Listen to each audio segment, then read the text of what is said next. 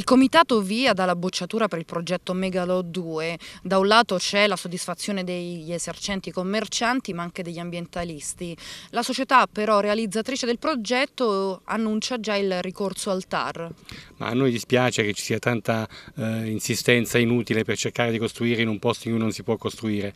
Eh, il WWF è già pronto a costituirsi al TAR, e certamente o contro ovviamente questo progetto, ma il TAR non potrà darci ragione. È assurdo che si possa pensare dopo tutto quello che è successo in Abruzzo eh, nell'inverno scorso che si possa continuare a pensare di costruire in zone a rischio. Lunghi fiumi non bisogna costruire, bisogna togliere quello che c'è e questa è una regola di base che deve essere applicata ovunque. Non possiamo continuare a piangere dopo disastri e a fare in modo che i disastri si possano creare costruendo dove non si può.